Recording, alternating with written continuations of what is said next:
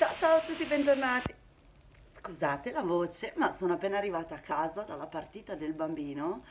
Non lo so, hanno otto anni, ma non lo so, il calcio è una cosa allucinante e, e ho passato tutta la partita, urlavamo, arbitrone, insomma, un disastro. E quindi non ho, ho voce un po' a momenti, ma se non faccio questo video adesso non lo farò mai più, che non ho più tempo. Signore e signori, ce l'ho fatta, ho finito questo mattone, cioè la stazione di Jacopo De Michelis. Mattone di, adesso vi dico le pagine, 870 pagine, non finiva mai, ci ho messo due settimane per leggerlo, non finiva mai non perché fosse un brutto libro, eh, un po' perché non avevo tempo, un po' perché ho effettivamente fatto abbastanza fatica a edito da giunti, prezzo di copertina 19 euro, ho fatto un po' fatica in alcuni momenti, non è un brutto libro, io gli ho dato tre stelline, devo dire. Eh, la storia c'è, la base c'è, i personaggi ci sono, l'ambientazione, la stazione centrale di Milano e anche un po' di Milano in generale c'è ed è fantastica, forse è la cosa che mi è piaciuta di più. Eh, c'è mm, del thriller, ci sono delle indagini, c'è un po' di paranormale, cose strane che a differenza di altre persone che ho sentito eh, a me non ha disturbato perché fondamentalmente è un romanzo, cioè, è un romanzo, non è che cioè, mettici dentro quello che vuoi, a me non mi interessa se ci sono cose paranormali, cose assurde, è un romanzo, non è realtà. Quindi a me non ha disturbato. Eh, ci sono una storia dentro l'altra concatenate.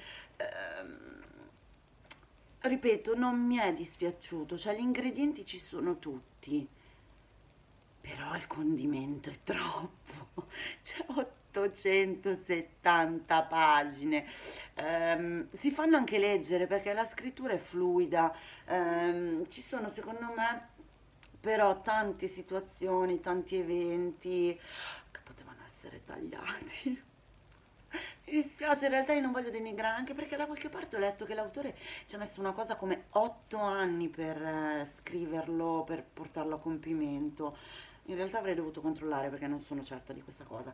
E questo impegno, questa ricerca certosina probabilmente di ogni dettaglio, della parola giusta, traspare tantissimo, nel senso che leggendo anche le parole usate, è un italiano molto eh, completo, mh, mm, ricercato, ecco, e c'è tutta l'attenzione che probabilmente l'autore ci ha messo si nota, non, non, è uno scritto buttato lì di getto con un po' di talento e quindi funziona. C'è sicuramente uno studio dietro, però a volte devo dire, dicevo ok, ok, ok.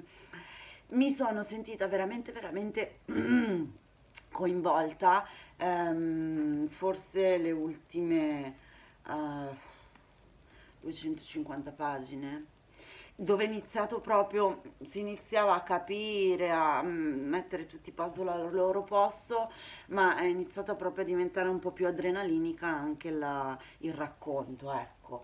Eh, e forse, eh, ma questo può essere gusto personale, in un thriller è questo quello che cerco io, ripeto. Um, non lo boccio assolutamente, eh,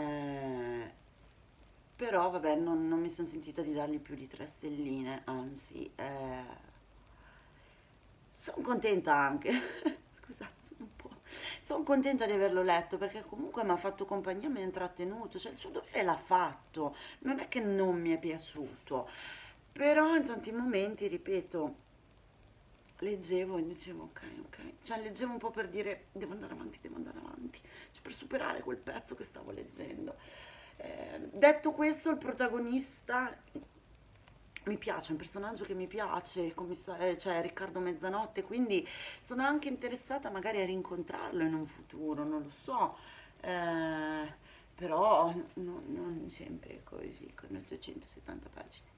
Bene, detto ciò io vi saluto e noi ci vediamo al prossimo video. Ciao!